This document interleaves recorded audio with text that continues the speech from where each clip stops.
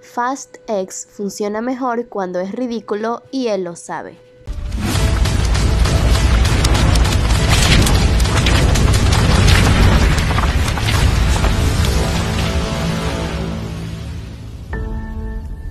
El villano Fast X de Jason Momoa es el mejor malo de toda la serie Fast and Furious y cuando la película mantiene su energía es genial. The Fast and Furious nunca ha sido restringido, incluso desde su inicio. Los ritmos de la historia tradicional de policía y ladrón se convierten en amigos poco probables.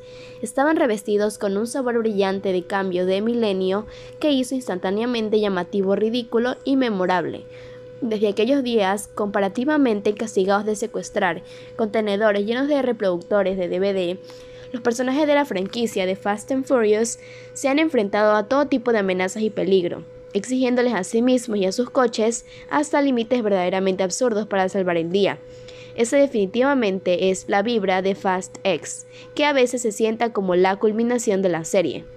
Agobiado cuando trata de reflexionar sobre sus latidos emocionales contundentes, Fast X se convierte en una explosión cuando recuerda las alegrías de ir a toda velocidad. Y nadie lo entiende mejor que el último villano de la serie, Jason Momoa. Momoa interpreta a Dante Reyes, el hijo del villano Hernán Reyes de Fast Five.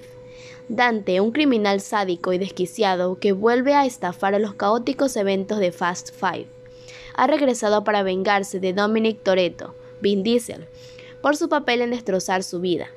Sus planes dispersan rápidamente a Dom y sus aliados por todo el mundo, con Don y Dante teniendo una serie de enfrentamientos en América del Sur que se vuelve más letales a medida que Dante se reúne con más armas para sus planes.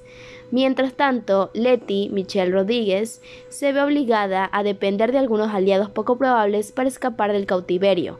El hermano de Don, Jacob Jansina, lucha para proteger al hijo de Don, Marcos.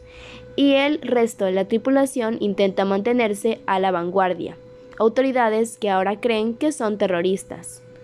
Momoa va lo grande con Dante, quien se siente más como el guasón de los típicos criminales y villanos que se encuentran en la franquicia. Es un personaje muy tonto, energético y colorido, con suficiente amenaza arriesgada como para aterrorizar a casi cualquiera y hacerle obedecer.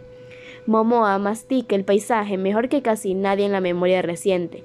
Es un personaje de dibujos animados en el sentido más amplio de la palabra. Un villano magnético e infinitamente entretenido que podría ser el mejor villano de la serie. Cuando la película alcanza su nivel, como durante una persecución por las calles de Roma o la revelación de un automóvil con múltiples lanzamientos de cohetes en la parte delantera, Fast X se da cuenta de su verdadero potencial. El director Louis Leiter también está claramente relacionado con esa energía, ya que las escenas tienen un enfoque caótico pero fluido de la acción que encuentra muchos espacios en giros ridículos, momentos geniales y bromas sorprendentes. Cuando el resto de la película mantiene esa energía, sobresale. Nuevos personajes como Tess de Brie Larson y jugadores que regresan como Zipper, Charlie Theron, Sean, Jason Satan que se divierten en sus papeles. La subtrama secundaria que se centra en Roman, Tej, Ramsey y Han es lo suficientemente tonta como para darle al público un respiro entre escenas. Si quieres saber más acerca del mundo cómic, este es tu canal. Te invito a que te suscribas y nos sigas en nuestras redes sociales como Baúl de. Gracias por ver este video. Hasta la próxima.